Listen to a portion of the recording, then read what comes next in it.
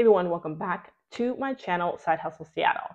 Now, if you're somebody who struggles with video editing, then this is definitely the video for you. So whether you want to make a video for, you know, personal, for content creation, for work, it can be incredibly overwhelming when it comes to just navigating different video editing tools. And there's a lot of them out there, but I prefer ones that are incredibly straightforward. So I wanted to introduce you to what I consider to be the best beginner friendly video editing tool that you can use and that is InShot.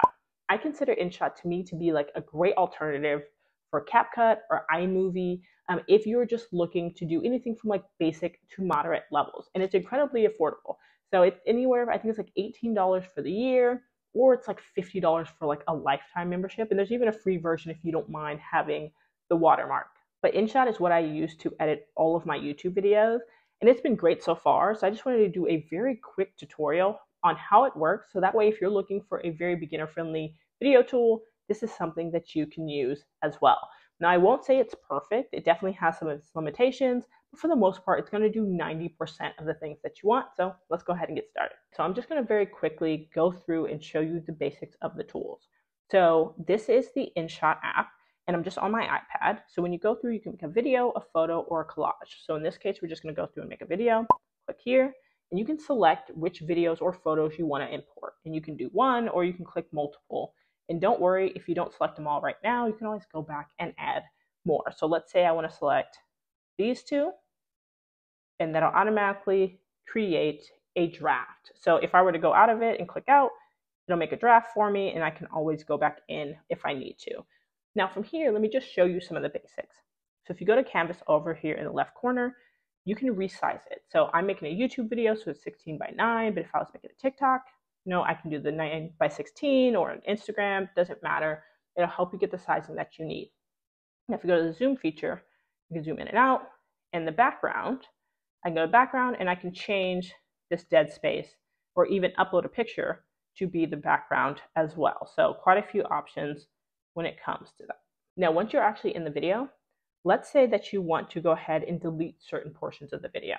So the beginning right here, where I'm just kind of getting set up, there's like, you know, five seconds or half a second where I'm not doing anything. Let's say I want to cut that out. So I can go like this. There's two ways. I can either drag this line and cut it out. So now the video starts here. Or what I often use, I will use the split feature right here.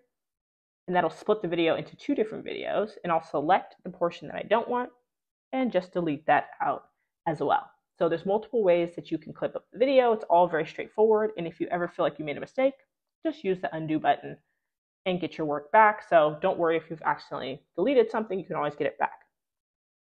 Now that I have that, let's go through and just see some of the other features. So something that people often use is text. Let's say you want to add text to the screen. I can click this text button right here and I can go to text. So let's say I wanted to say like know, welcome to my channel. Perfect. Now I can drag that across the screen. I can put it up. I can resize it. I can do a number of different things, right? Now let's say that I wanted to change the text color. I can just go through and change the text color. Or if I wanted to change the border, which is this black outline, I can change the border. I can also add, you know, shadows, glow, and label is essentially this little highlighted section around it. So I can change the label or just get rid of it altogether, however you would prefer to do it. So I usually use the multicolored one, and so I'll just stick to that. And you can even change the way that the label shows up.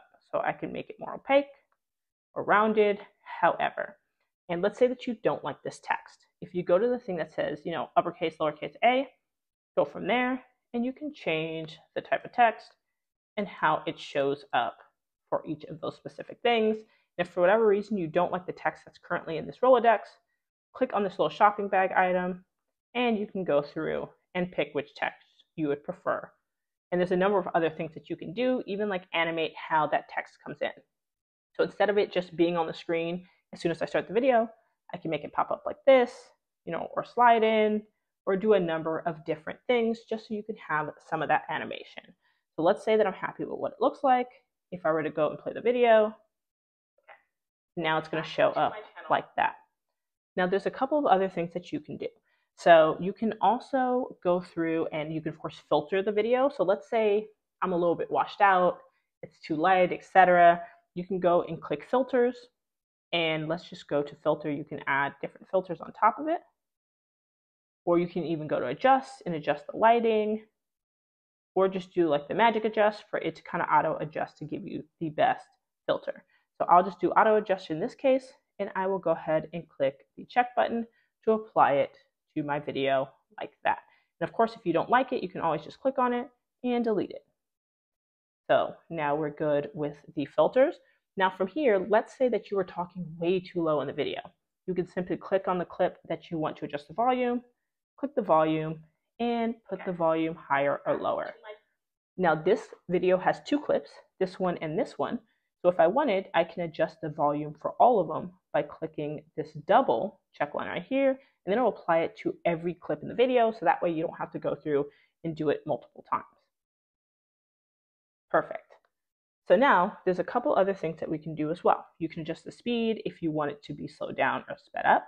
Um, you can add stickers to it. So if you click stickers, I can go and add a sticker for my camera roll.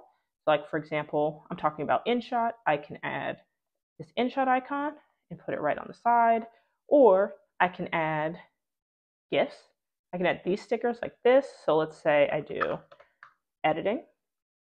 I can add this to the screen. I can go to GIFs and I can add whatever one from there. It doesn't matter. There's a number of things that you can add to your video if you want to add them. Just simple and at your fingertips like that. Now, if you're somebody who likes to do B-roll, then you can do something called picture in picture. Now, picture in picture is this thing that says pip right here and essentially allows you to do video overlays. So let's say I wanted to do this. This is something I got off Pexels, which is what I used to get all of my copyright free, royalty free B roll content. And I can resize it. And now when you're looking at my video, it'll transition into this B roll. And I can cut it, make it smaller, delete it, and it'll just transition right back to my video right after that. So super easy to do. Now you can do more AI specific features. So if you go to effects and we're going to go to AI effects, I can add some of this stuff to myself. Especially if you're doing like TikTok videos, these are great. You can also do some basics like slow zoom or jump zoom, which I love to use. And if for whatever reason that you do want to do an AI cutout because you want to replace the background, you can do something like click on this, click AI cutout, and do the cutout. And it'll cut out the background for you. And now it looks like this. And you can replace the background with something else. So that's something that's also pretty nifty that you can end up doing. Now, something that I love that they've recently done is now you can do automatic captions. So if you go to text and you go to captions, it'll automatically caption your entire video. And you can go to default and choose the style of captions that you want. So let's say I like the vlog style captions right there. I can click yes, start, it'll automatically scan my video and put the captions there, and you can go back and edit those captions if need be. So that's generally just how it works. So, and it's super quick, and it's also like great if you want to add a little bit of captions and flair to your video. So I can just go like this. Welcome back to my channel, and as you can see, they automatically pop up. And if for whatever reason I needed to change the caption because it got something wrong, I can just click into it and edit what it says as well. Now, the last thing I'll just show you is what it looks like when you do a transition between clips. So I have this video right here, and then I have this last clip, which is my typical in screen to my videos. So if I click play, it'll go like this right now. But let's say, for example, I wanted to make a transition. This little line right here, if I click that, I can add transitions between them. You can see what they look like, so that's more of a subtle one. I can do something like that. Or you can even spice it up and do a little bit of a spin. So you can do transitions between different clips just to make it more engaging for your audience. So now that you've seen the tutorial, hopefully you can see how simple and easy it is to use. Like I said, there are some very few limitations that I've personally found when using this tool. The first thing is there's no web-based version to the tool. So you have to use it on a phone or on a tablet. You can't use it on your browser. And sometimes that gets a little frustrating, especially if you're editing a very long video. Doing it on your phone or your tablet isn't always the best. Another thing that I feel like is a limitation is they don't have like editing templates. So if you ever go on TikTok and somebody use like CapCut to edit their video, a lot of times you'll see this thing that says like, you know, use a similar template and you can click it, you know, automatically kind of load that template into CapCut. This doesn't have that. So you're always kind of like building the video from scratch. And the last thing I would say is a limitation is just the fact that the AI cutout that it has in it, it's good for photos, but it's not as great for video. So let, let's say I wanted to replace my current background and I wanted to do an AI cutout of myself, you would still kind of see some like, you know, a little bit of a line around me. So it's just not as crisp as it could be when I've noticed some other video tools are very good at that. But overall, it's definitely something I would recommend for anybody who just needs the basics to get started. And you can even do some more advanced stuff if you're a little bit more crafty. But anyways, let me know what you think of the tool. Have you used it before? What's your favorite video editing tool? Leave all of it in the comments. Thank you as always for watching. Catch you in the next one.